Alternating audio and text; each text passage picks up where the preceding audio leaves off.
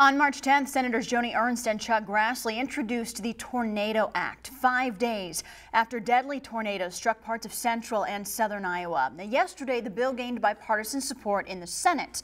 Local 5's Dave Downey joins us in the studio now with more. Dave. Yes, Samantha, Illinois Democratic Senator Tammy Duckworth jumped on board late yesterday.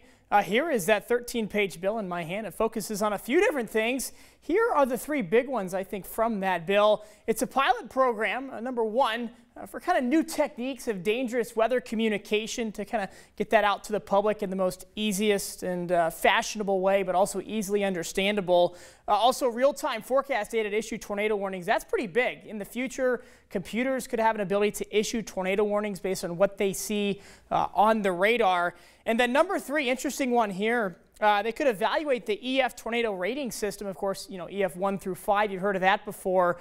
Uh, that's been in place since 2007. Of course, all of this intended to help us in central Iowa.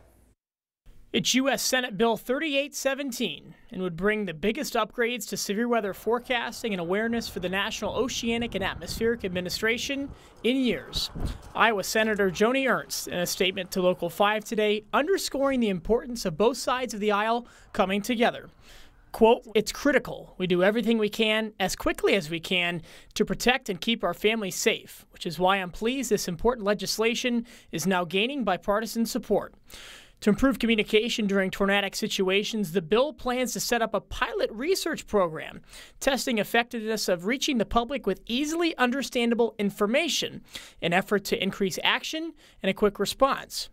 Also, the bill aims to begin what they call a warn on forecast plan. The goal is to use high resolution forecast data to issue and continue tornado warnings in real time. There are also plans to reevaluate the EF system used to rate tornadoes on a scale of 1 to 5, which has been the norm since 2007. But the main goal of the bill to learn and improve from the communication problem on March 5th, causing several minutes of delay between when the warnings were issued and delivered to the public, hoping to prevent that from happening again. Senator Grassley also telling Local 5 that he is, quote, pleased to see bipartisan support uh, growing for the bill, end quote. The bill is currently being considered by a Senate committee. If passed, it heads to the Senate for a vote. Live in studio, Dave Downey, Local 5 News. We are Iowa.